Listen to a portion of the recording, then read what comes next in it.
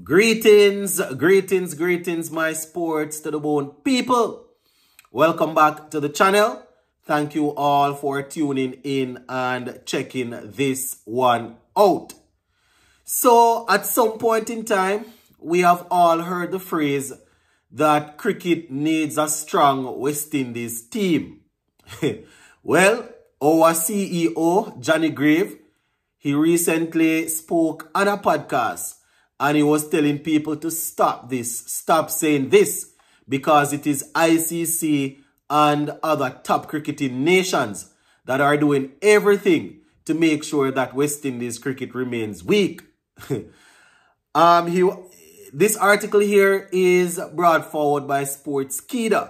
They are covering the podcast that was done. So in this video, I am going to be reading a couple of pieces from it and you know i'm gonna give my commentary as usual. So just give a listening ear. Let me know what you all think in the comment section. And also remember to leave a like on the video and subscribe if you have not yet subscribed to the channel. So this one as i said my people we, we will be reasoning through this one. Um so As we know, West Indies team, this team right now is not a dominant force in the world of cricket. Back in the 70s, 80s, we were extremely dominant. You understand? We had the talent and we had commitment. We had passionate players. You understand? Players that were not only motivated by what they were getting, you know, but they were motivated by other factors. Remember, people felt like one back then based on their color. You understand? And, and, and stuff. So people were, well motivated to, to, to make sure that our race, you know, was being dominant and thing. Anyways, we see where Johnny Grave is now saying that this whole thing of people saying that cricket needs a strong West Indies team. ICC top cricketing nations need to stop saying this because they are a big part of the problem. And, you know, I'm going to go through it because this is where Johnny Grave has actually accused the International Cricket Council alongside major cricketing nations here of making sure that West Indies uh, cricket team remain remains weak, right? Now, they are saying the fall of West Indies cricket has been a hot topic, especially since we were unable to qualify for the recently concluded ODI World Cup. You know, it has, even before that, you know, it, it's been tough. Um, separate and apart from the last, from the, the, the two T20 World Cups that we won. Prior to that, I think the last major trophy we won was back in 2020, uh, well, 2004, when we won the ICC Champions Trophy. So, you know, we have really fallen from grace from winning those two first World Cup, you understand, in 75 and 79, you know, we, we, we and, and I think we went to the final, um, the last one in the 80s there when we got beaten by India. You understand? Um, we, we, we haven't been the, the, the, the, the same team since. So this is Johnny Grave here, and I quote, I think everyone is a bit sick of the phrase, world cricket needs a strong West Indies, when we definitely feel that world cricket is doing everything, right, they can at almost every level to make sure West Indies cricket are never strong again. Hmm. I think that's the um, born of frustration. Yeah, right? He was ref also referring to what Ian Bishop was saying, right? That um, this whole thing is a patronizing tone when they are saying that we, we need a strong West Indies um, team in, in, in world cricket right? He's saying that ICC and these top teams, they are doing everything to make sure that we, we, we, we are not um we, we are not back to the top, right? Oftentimes we talk about um the, the leaders of West Indies cricket not uh paying the players properly, not giving the players enough to make sure that they remain uh, in the Caribbean, right? And, and, and remain um, available. But here we see our CEO diving into it and saying, and he's saying, listen, it's because of the whole revenue thing. they are not getting enough funding. You know, we always talk about that. They are not getting enough funding to really keep the players on board. So the article here is saying that the West Indies problems have been both internal and external. Right? They're saying the International Cricket Council revenue model is lopsided, as we know, with the big three, the England, India, and Australia, you know, getting the, the, the, the, the bulk of the money. Right? They are saying that star players availability has been uncertain due to um, the franchise thing, you know, going out and, and, and, and getting franchise contract, which um, Johnny Grave is saying is partly because of the ICC, you know, not really leveling leveling the playing field.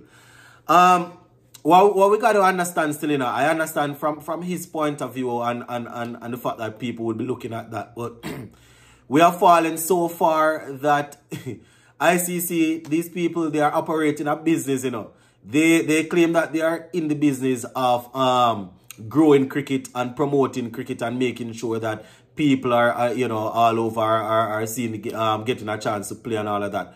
But at the end of the day, they are all about trying to secure sponsors, trying to secure um, you know TV rights and all of that. So I, I can't see these guys pumping too much money in to West Indies and the other associate nations to really get them back to the level of where India, England, and, and Australia, you know, where those teams are. I can't really see them pumping the money that in it that would be required to, to try and hold players in to, to, to play for their for, to play for West Indies. I can't see them doing that because they are in the business of making money. You understand? At the end of every year or every four year, I can guarantee you that the ICC budget man is sitting down and, and looking and saying, well, this is what we we, we, we, we, we made. This is what we, we had to distribute to the to, to the teams. And this is what we are, we, are, we are getting. We are breaking even when we do this with West Indies. We are losing when we do this with West Indies. But when we pump money into England, Australia, and and and and and and, and, and the other teams and other top teams, listen, we are making back money based on teams buying the rights to these teams uh, uh, country buying the right to these fans going out and buying tickets, we can make back this amount of money to put back into the wheel to keep it turning. You understand? We only need to put this amount into the West Indies, into the into the other associate nations wheel to really keep them afloat. But we need to pump this amount into the top three or top four teams to get back this amount of money. You understand? That is how they are looking at it. It sounds weird, but that is how they are looking at it. Now, Johnny Grave is saying that the percentage of revenue has gone down. And, you know, he's saying that even though ICC is talking about they have increased um, revenue for the mid-ranking teams, um, their share has actually fallen. So this is Johnny Grave. If you really want a strong West Indies cricket, it would actually not be that hard to do.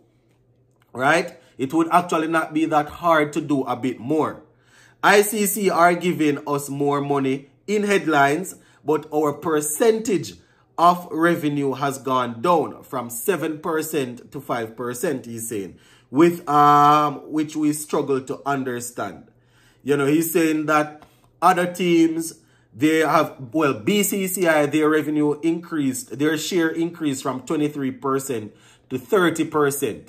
He's saying that Ireland and Afghanistan are the only two associate teams or teams at the bottom there that would have um, received significant significant raise recently. So he's saying that their share has fallen, but when you look at BCCI, it is moving from 23 to 30%. And as I said, it might sound, it might, it might, sound rough, my viewers and subscribers, but I can guarantee you, these guys are looking and they are saying, what are how are they able to, to get back money in their kitty? How are they able to keep the wheels turning? They are not worried about the fact that West Indies, you know, they have a good history. They, there's a good history.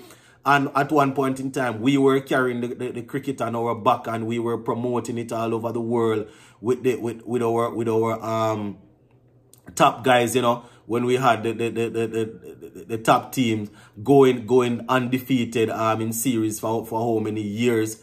They are not looking at them sort of things, my people. They are looking at now and future, how they can keep pumping, um, how they can keep milking it.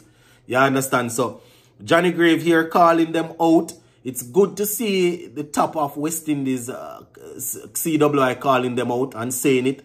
You understand? Uh, people and podcasts like myself here, you know, when we say it, it probably don't have too, too much weight. When past cricketers say it, it probably don't, don't turn too much heads. Um, too many heads, you understand? But when you have the, the, the, the, the CEO, the guy that is in charge, come out and saying it, you know, and calling out uh, um, ICC, and they are able to pinpoint numbers. You understand? We probably don't know the numbers, but when you hear guys like these coming out and saying, listen, we see where India share is moving from 23% to 30%, ours move um dropping from 7% to um ours dropping from 7% to 5% simply means that you know what we're getting is is it's going backwards. Uh, you know, top teams trending up, but ours trending down. As I said, these people are operating a business. It might sound tough. We are passionate. We love with cricket. We want them to pump money. We want West Indies to be the best. But at the same time, we have to take off our, our West Indies fan hat and put it aside and think and say, are these people really going to do this? Because we were dominant once doesn't mean that they are looking and saying that a dominant West Indies team will um a dominant West Indies team will, will be good for, for, for cricket. They are saying it, but I don't know if they too believe it. You understand? Imagine, imagine all these these people. Imagine West Indies becoming dominant again. All the people from India, um, India and, and, and, and New Zealand and South Africa that used to support West Indies back then, they have grown to see their team become strong. So imagine West Indies grow and start and start um start mash down all of these teams again and they start fans starting to, to, to pull. ICC now want them sort of things. You understand? I'm not saying that they, they won't look into it and find a way to help.